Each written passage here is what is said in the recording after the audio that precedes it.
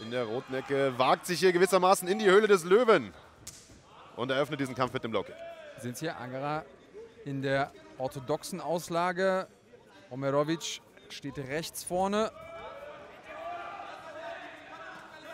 Rechtsausleger gegen Linksausleger. Da bieten sich die Inside-Low-Kicks natürlich an. Die haben wir schon gesehen, gerade von Agara. Ja, aber eben auch die Schlaghände, um mit denen die Kombination zu eröffnen.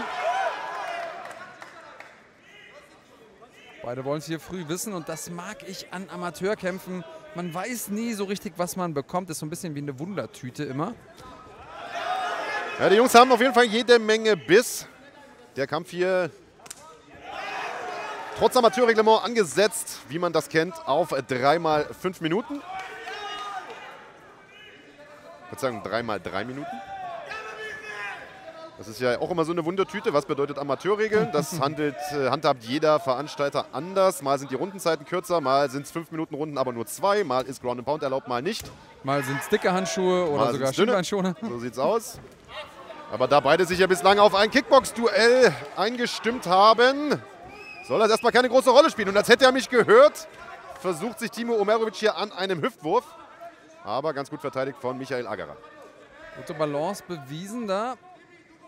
Omerovic sieht zumindest mal ein wenig weniger austrainiert aus als sein Gegner, aber lässt sich hier nicht die Butter vom Brot klauen, obwohl er auswärts kämpft, in die Höhle des Löwen gereist ist, wie du es genannt hast, Marc. Macht er hier gut Druck? Ja, und ist mit einem sehr, sehr großen Team hier angereist. Praetorian MMA aus Sarajevo in Bosnien-Herzegowina, die einige Kämpfer auf der Karte hier heute stellen. Das heißt, er hat natürlich den Vorteil gehabt, sich im Trainingslager mit gleich mehreren Kämpfern vorbereiten zu können, die alle am gleichen Termin ihren Fight haben. Das ist natürlich ein Riesenvorteil. Klar, und man ist dann auch nicht im Ausland irgendwie nur zu zweit und fühlt sich da so ein bisschen allein auf weiter Flur, sondern im Team. Das macht auch was mit der Dynamik und die bringt er hier mit in den Cage. Versucht sich Richtung Rücken zu arbeiten von Agara. Der ist gerade sehr, sehr defensiv. Müsste hier versuchen, zu seinem eigenen Rechts mal auszubrechen mit der Hüfte. Jetzt zum Beispiel, wo der Kopf von Omerovic weg ist, lehnt sich da aber auf die andere Seite. Also schnelle, explosive Bewegungen mit der Hüfte hier, um rauszukommen. Agara kommt gerade mit dem Druck nicht so richtig klar. Oh, guter Versuch hier nach dem Lösen, den Highkick versucht. Sieht man nicht oft. Aber Omerovic atmet da schon schwer. Ich wollte gerade sagen, beide haben jetzt schon ein bisschen Tempo rausgenommen. Die Gewichtsklasse hier bis 84 Kilogramm und die erste Runde nähert sich dem Ende. Zwei haben beide Kämpfer maximal noch vor sich, also bis zu sechs Minuten Kampfzeit. Und da fängt sich Agara hier nochmal eine gute Rechte von Omerovic, versucht mit der Guillotine hier die Runde zu beenden. Ja, das war schon die Zeit. Da ist tatsächlich auch der Ringgong sehr leise. Den haben wir auch nur im Hintergrund wahrgenommen, wenn man natürlich kämpft. Er musste sich selbst, Referee Nebil Seebein, nochmal rückversichern, ob denn tatsächlich schon Schluss war. Ja, das ist vielleicht ein bisschen unglücklich. Hier sehen wir noch ein paar der Szenen aus der ersten Runde. Beide haben im Kickboxen am Anfang viel, viel Gas gegeben. Ja, die besseren Treffer meine ich aber fast, zumindest Kopftreffer auf Seiten des Bosniers. Ja, und der hat auch mehr Druck gemacht insgesamt am Käfig. Deswegen würde ich ihn jetzt hier in der ersten Runde vorne sehen. Hier der versuchte High-Kick. Das muss man auch erstmal machen, hier so in seinem dritten Amateurkampf. So eine Technik ausprobieren. Und das darf man nicht vergessen, wenn man neu ist in diesem Sport, das erste Mal oder eine der ersten Male im Cage steht und jetzt auch hier auf dieser großen Bühne, ist ja was anderes, als wenn man Amateur kämpft irgendwo in einem kleinen Gym oder in einer kleinen Sporthalle, sondern hier die Lichter sind an, die Kameras sind auf einen gerichtet. Das macht auch nochmal was mit einem.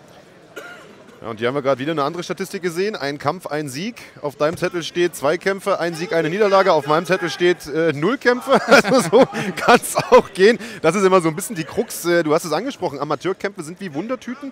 Äh, das hat natürlich auch äh, eine Menge damit zu tun, dass man nicht so genau weiß, wo haben die denn schon gekämpft. Man weiß nicht genau, der Omerovic hat ja in Bosnien vielleicht schon 40 Kämpfe gemacht, die nirgendwo stehen. Also das ist auch immer die Gefahr bei solchen Duellen gegen vermeintlich unbekannte, unbedarfte Gegner. Und gleichzeitig kann es natürlich immer sein, dass der ein oder andere in einem anderen Kampfsport schon sehr erfahren ist. Also ein guter Boxer, äh, vielleicht viel gerungen hat. Omerovic geht da relativ schnell wieder zum Clinch, macht das gut mit der Kopfkontrolle hier, versucht jetzt mit einem Trip Agra auf den Boden zu bringen, schafft das auch, landet in der Halfguard. Ja, schön gemachter Outside Trip. Jetzt in der Full Guard von Agara, der sich hier erstmal auf Defensivarbeit verlässt. Also der große Bodenkämpfer, Submission Wrestler vom Rücken aus scheint da nicht zu sein. Hält da eher fest und äh, spekuliert auf den Stand-Up. Er hat sich relativ schnell die Guard gesichert, das hat er gut gemacht. Also da sitzen die Reflexe schon. Omerovic macht da viel Druck mit seiner Hüfte, muss aber aufpassen, dass ihn so Angara nicht vielleicht auch sweepen kann. Der hat jetzt mal einen Arm kontrolliert hier, macht weiterhin viel Druck, versucht auch mit dem Kopf Druck zu machen in der Position. Also er gefällt mir gut, dieser Timur Omerovic. Mein, seinen vermeintlichen Erfahrungsvorsprung merkt man ein wenig. Agra wirkt ein wenig überrumpelt von ihm und von seinem Druck. Das ist nichts brandgefährliches, was er hier zeigt. Das sind keine super verrückten Aktionen, aber effizient. Ja, auch Agara hatte in der Trainings- oder in der Wettkampfvorbereitung den, oh, Armbar-Versuch jetzt hier vom Innsbrucker, aber das hat Omerovic kommen sehen, spielend verteidigt und passiert hier in die Side Control. Lässt Agara aber aufstehen, geht sofort an den Rücken und versucht ihn wieder runterzuholen, aber der Österreicher verteidigt das bislang ganz gut. Hat wie gesagt auch den Vorteil gehabt, sich mit vielen Leuten vorbereiten zu können, die hier heute kämpfen. Denn auch sein Team ist zahlreich hier vertreten. Das Team MMA IBK, also dieses Innsbrucker MMA Gym. Also auch da sind einige Leute auf der Card, die hier heute antreten. Einige Lokalmatadoren vertreten. Und wie man so schön sagt, Eisen schmiedet Eisen. Das bringt natürlich was, wenn man da viele Kämpfer in der Wettkampfvorbereitung hat. Schöner Takedown jetzt hier von Timur Omerovic.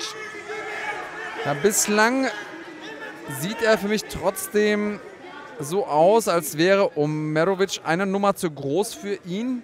Hält hier zwar noch fest, aber ist da wieder zu Boden gebracht worden. Glaubt nicht, dass hier dieser Guillotinenversuch fruchten wird.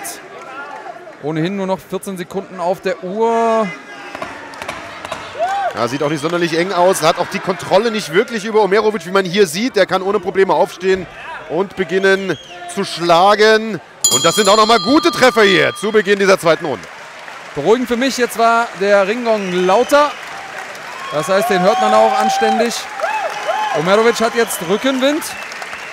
Hat man dem Zeitnehmer nochmal eine Butterschnitte gegeben. Der haut jetzt ein bisschen kräftiger auf den Gong. Ja, und hier, die beiden versuchen es auch auf den Gong zu hauen, aber der Großteil dieser Runde im Bodenkampf stattgefunden. Das Ground and Pound, das wir gesehen haben, kam na, sag ich mal, 50 Prozent vom Michael Agara, der auf dem Rücken lag. Die Submission-Versuche alle nicht wirklich gefährlich. Der Druck kam von Omerovic, also für mich auch wieder eine Runde für Omerovic. Und hier der Takedown, der hat ganz schön gekracht. Ja, und Agara tut sich ein bisschen schwer am Boden, seinen Gegner zu kontrollieren. Aus der Rückenlage heraus. Sodass er hier eben auch Schwierigkeiten hat, Submissions anzubringen. So, letzte Runde. Auf meinem Punktrichterzettel müsste Michael Agerer jetzt hier mal einen Gang zulegen und versuchen, den Finish zu suchen. Ja, Agerer atmet hier nach wie vor relativ schwer zu Beginn schon dieses dritten Durchgangs. Also der wird froh sein, wenn die drei Minuten hier rum sind. Omerovic steht auf der anderen Seite ein bisschen gelassener aus. Ja, für den ist es ja auch bislang ganz gut gelaufen. Also der kann jetzt erstmal kommen lassen. Ja, wird wahrscheinlich wissen, dass er hier vorn liegt nach Punkten. Ja, zumindest mal ahnen. So richtig sicher kann man sich ja bei den Punktrichtern nie sein. Oh, schöner Highkick. Da war Agar schon auf dem Weg raus. Auch da nochmal ein paar Schwinger hinterher. Und er macht einfach so viel Druck, dass Agara gar nicht richtig die Beine auf den Boden bekommt. Macht er gut, taktisch gut gemacht.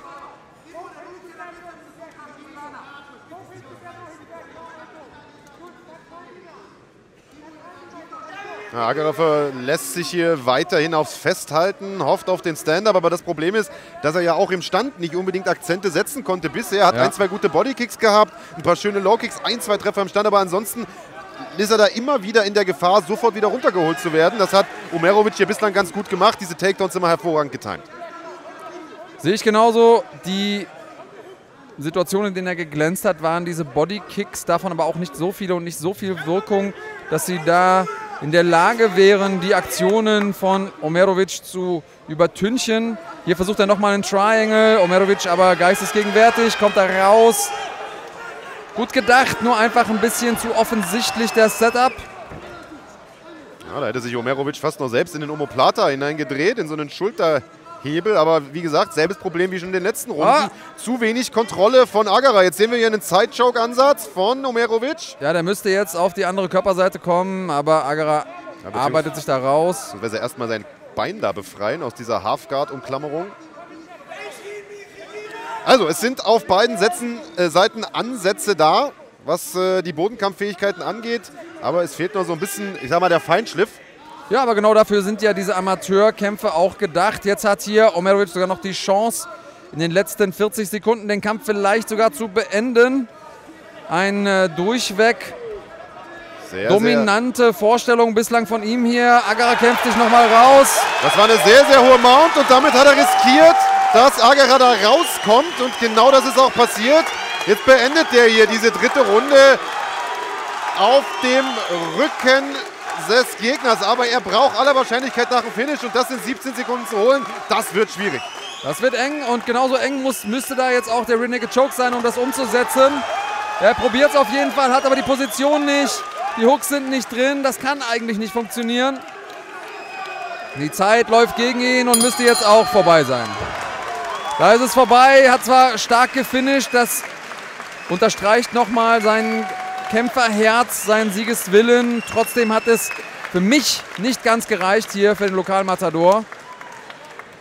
Wir sehen hier diese wilden Schlagabtäusche. Beide sind dann immer im Schlagabtausch noch so ein bisschen außerhalb ihrer Struktur. Auch das kommt mit der Zeit hier der Triangle-Versuch, aber keine Kontrolle über den Mann. Hier der Omoplata-Versuch, den du angesprochen hast. Und da einmal der Escape aus der sehr, sehr hohen Mount das ist eben immer die Gefahr, wenn man zu viel sich auf die Offensive konzentriert, dass man dann seine Position verliert. Auch das sind Erfahrungswerte. Trotzdem zwei gute junge Talente, die wir hier gesehen haben. Ja, großen Applaus hier. Das Publikum feiert hier auch beide Kämpfer. Michael Aggerer lässt sich hier schon feiern. Aber ist vielleicht auch einfach froh, dass er ja, man kann ja auch einfach, einfach, feiern, dass man es hier gemacht hat, dass man die Vorbereitung abgeschlossen ja. hat. Da ist ja jeder an und für sich schon ein Sieger. Und während wir hier auf die Urteilsverkündung warten, schon der Hinweis auf den nächsten Kampf, ein Damenkampf zwischen Franziska Blum und Katharina Ritschkova. Das gibt's gleich. Und hier ist der Sieger des ersten Kampfes. All three cards